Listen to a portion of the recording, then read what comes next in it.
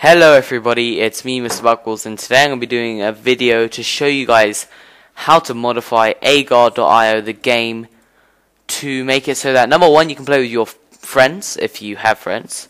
Uh, and number two to rather than just having okay let me just let me just connect your server. Rather than just having a color like here for instance I'm green and it's got eaten by Scotland rather than just having a color you can have your own personal image so, uh, yeah, I guess I'm going to show you guys how to do that.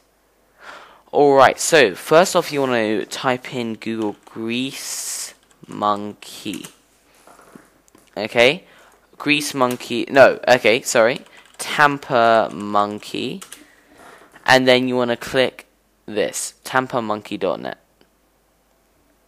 And then you want to click download and then the Tamper Monkey stable. It might be a different version for Chrome, but you have to have Chrome for this, guys. Tamper Monkey stable.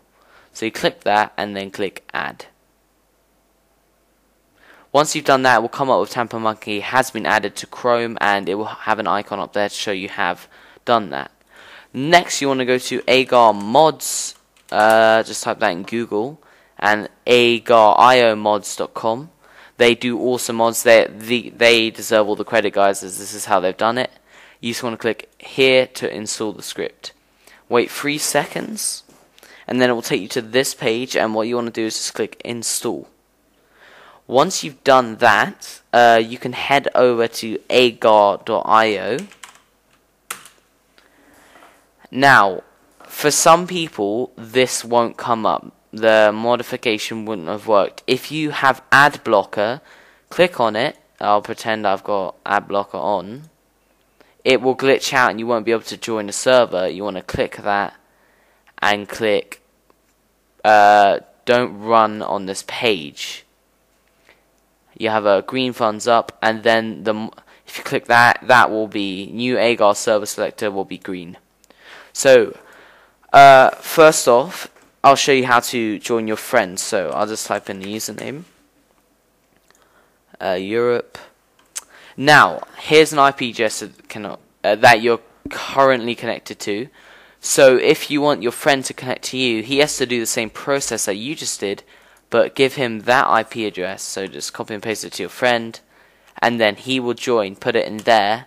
Press refresh. It will connect him to that server, and you guys will be able to play together.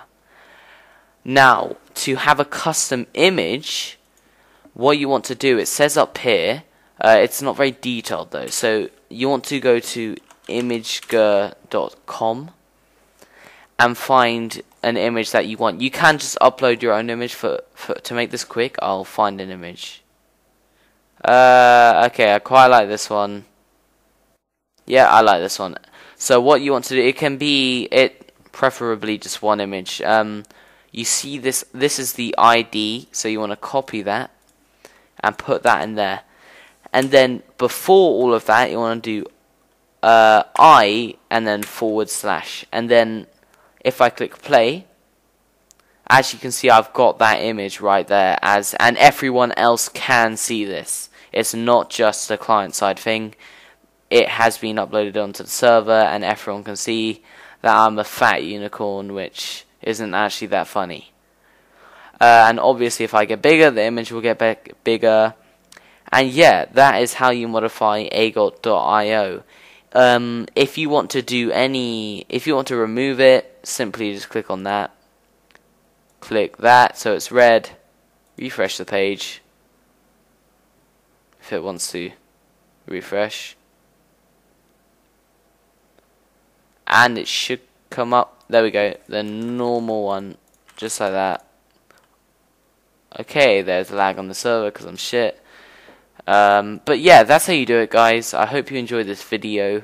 Don't forget to current uh, subscribe, rate, comment, or whatever you guys want to do. Thanks for watching.